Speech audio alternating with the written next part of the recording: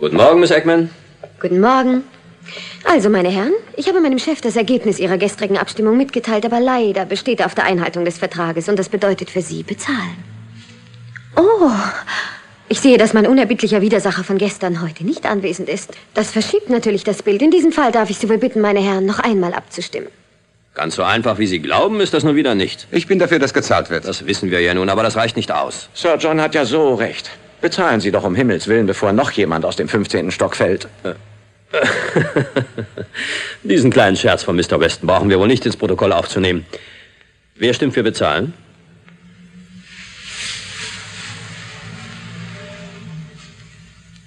Miss Eggman, Sie können Ihrem Chef sagen, dass die Summe vertragsgemäß überwiesen wird. Ich wusste ja, dass wir zu einer Einigung kommen.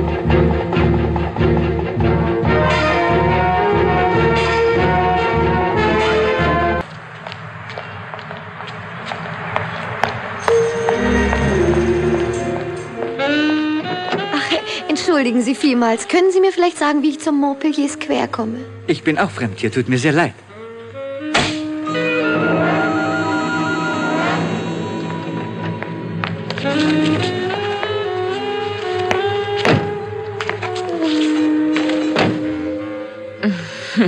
Ein drolliger Knabe ist es. Macht sich den weiten Weg. Warum?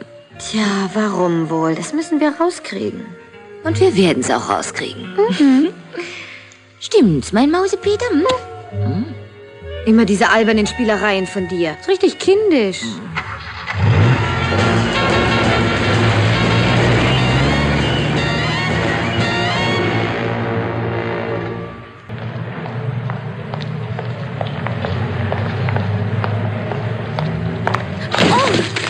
Können Sie nicht aufpassen? Ich-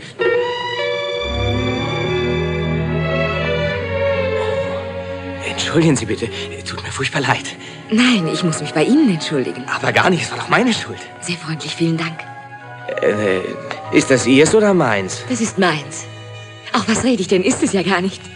Wissen Sie was? Ich habe eine großartige Idee. Hier steht mein Wagen. Das Einfachste ist, wir werfen alles hinten rein und fahren irgendwo hin, wo wir alles schön auseinandersortieren. Das ist wirklich eine gute Idee.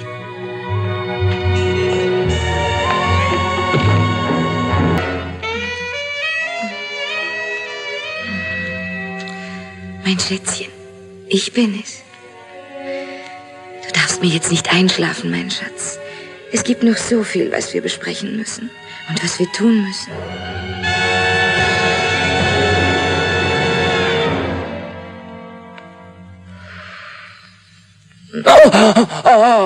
Oh, tut es denn so? Du weißt doch, ich hab dich gern. Und ich würde viel lieber nett zu dir sein, mein Kleiner. Aber Eggman kann jeden Moment wieder da sein. Und wenn du dann immer noch nicht gesprochen hast, wird sie wüten und das ist grässlich. Du musst jetzt ein lieber, braver Junge sein. Hm? Du wirst mir jetzt alles über deinen Onkel und Calogio erzählen.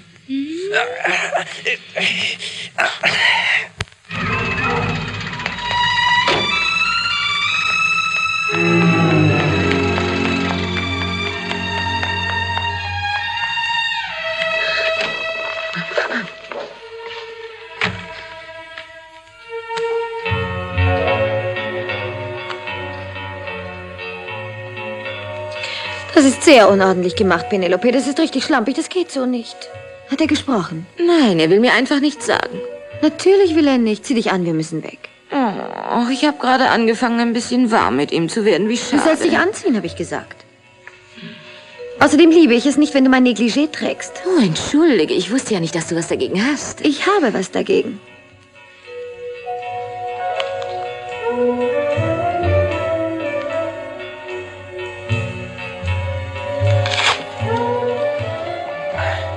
Was machen Sie denn da? Schon gut.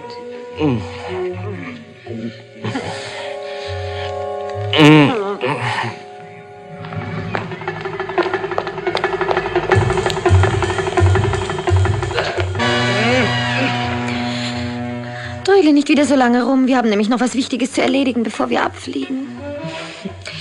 Und das ist auch meins. Das weißt du doch. Hast du eine Laune heute? Penelope, ich warne dich. Dein Hang zur Eigentumsveränderung wird dich noch in die allergrößten Schwierigkeiten bringen.